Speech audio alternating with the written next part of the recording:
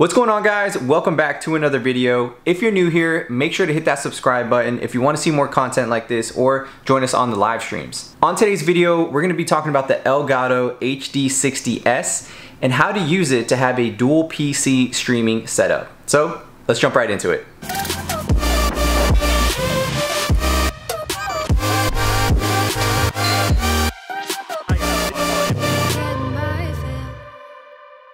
So just to give you guys an idea, this is what my gaming setup looks like.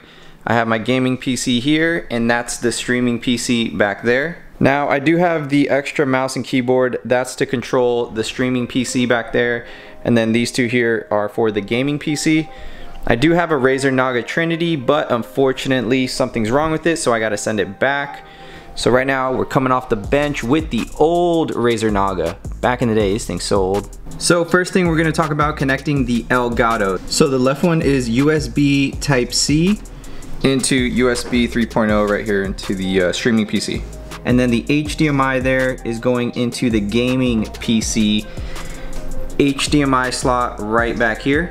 So what that is doing, the HDMI from the gaming PC is going into the Elgato and then from the Elgato, it's going through the USB here onto the streaming PC to send the signal there.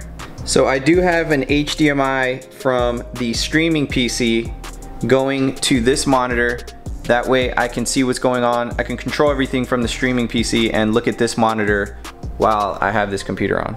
So the reason I have three display ports, I have one of each monitor going into the gaming PC, and then I have one HDMI cable going from the streaming PC to the back of this monitor, so I can use this monitor to control the stream when I'm streaming, and when I'm not streaming, I'm just using these three monitors on my gaming PC. So example, right now I have all the screens on my gaming PC. As you can see, I move this all the way over across wherever I want.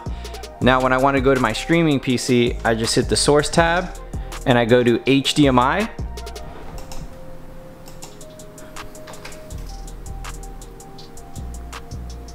Now I know it's the same background, but I swear this is a this is a streaming PC here. It has different icons as you can see here. So I'll put it back to DisplayPort to go back to my gaming PC. Now the way I have this set up, three and four, which let me identify here, this one's one, that one's three and four, and then that one's two. So what three and four means is number four is actually the HDMI. So we have duplicate desktop three and four here so that this monitor right here, which is where my game's gonna be on, is also gonna have the same image on the number four where the HDMI is connected to. So that the Elgato is gonna capture whatever's on this screen right here in the middle.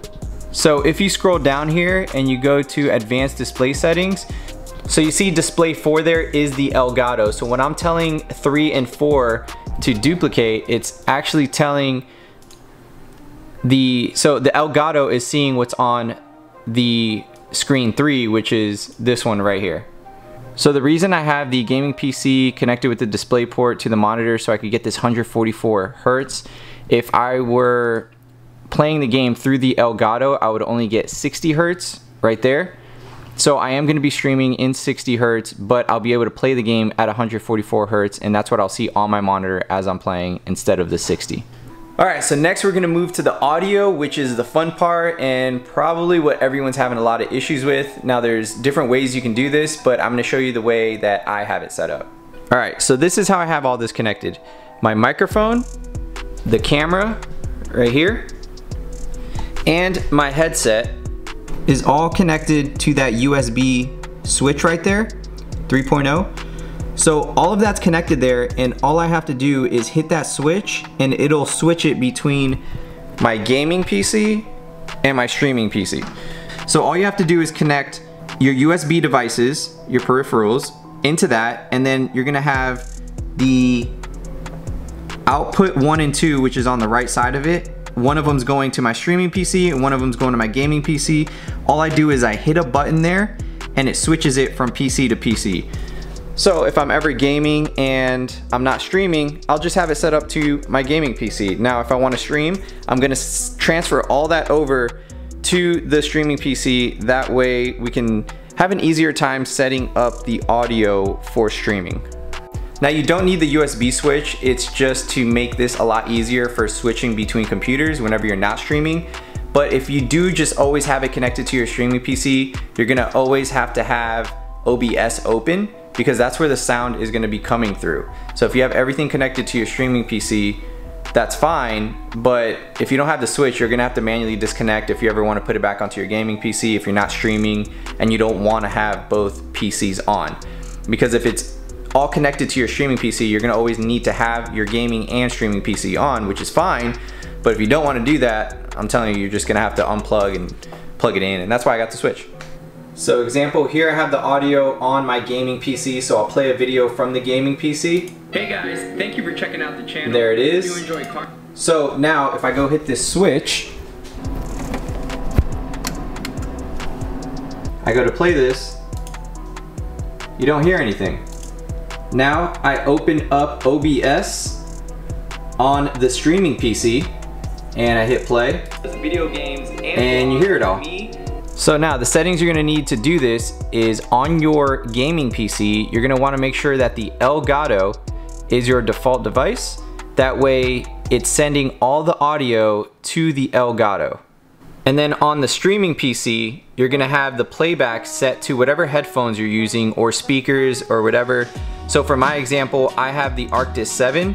So that's my headphone. I have that selected as the default device. Now this is my communications device because my headphone allows me to control the volume of say Discord while I can control the game volume also. That's why I have two different ones. Some of you may not see this, but that's why I have that. So once you have that set up here, you're gonna wanna make sure that you have your microphone set to default also, which for me is the Yeti. And remember guys, I have it all plugged into my streaming PC with that switch that I have. I mean, you can plug it directly in there, you don't need the switch, but all these peripherals are connected to the streaming PC. Now on OBS, my desktop audio, we're gonna go here, we're gonna go to properties, and I have it set to the headphone, which is gonna be bringing in all the game volume. Now for the microphone, we're gonna go here, go to properties, and I have it on default but you could also switch it to whatever the microphone is the Yeti. Just gonna leave mine how it is because it's working. I don't want to mess with it. Um, and then the headset uh, this is for Discord. If I have people talking in Discord I could turn it up or down but I guess it's not working right now because I don't have the headset plugged in. It's probably because I don't have the headset plugged in. So I do have this one set to yeah the uh, the chat one so when I am in Discord, you'll see this actually work, but right now I'm not, so. Now the only downfall to this setup I would say is the in-game chat. If you ever want to use in-game chat, you won't be able to because your microphone is on the streaming PC and not the gaming PC. So I can't talk to people in Warzone through party chat. I mean, I do use Discord, so it's fine. And I do have Discord on the streaming PC. I use Discord on the streaming PC to talk to people. But you can hear everyone in game chat, you just can't talk to them because your microphone's set up here. I guess if I wanted to talk to people in chat, I would hook up another microphone to my gaming PC so I can still use it to talk to them while I'm live streaming. But when I'm not live streaming, it's not an issue because I have everything on my gaming PC connected with the USB switch. I just switch it all over. So my headphones, my microphone, my camera, everything's on my gaming PC when I'm not streaming and everything's fine and normal. But when I do want to stream, I just hit that switch, the microphone, headphones, camera, everything goes over to the streaming PC, and then these uh, settings kick in automatically. So now in OBS, you're gonna wanna set up Elgato as a video capture device. So I already have mine set up, so I'll show you. Right there's the Elgato. So I'll go ahead, click it. You see how the whole screen is highlighted? That's me right there. Now we're gonna right click it and go to properties right here. And one important step, so you can see there, game capture and device default. But down here, this is important for your audio. You wanna make sure it says output desktop audio wave out. Make sure you have that set up or you might have some audio issues. If you notice it's not working, make sure to select that. Now, another setting I wanna point out is in the Elgato game capture.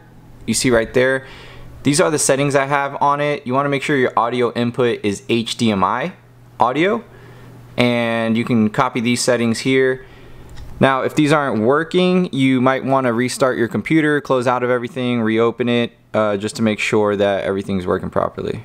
So that's it guys, it's pretty simple. If you have any questions, leave them in the comments down below. If you found this video helpful, make sure to give it a thumbs up. Also, if you want to see more content like this, make sure to hit that subscribe button. And thank you guys, as always. I'll see you guys in the next video. Thanks.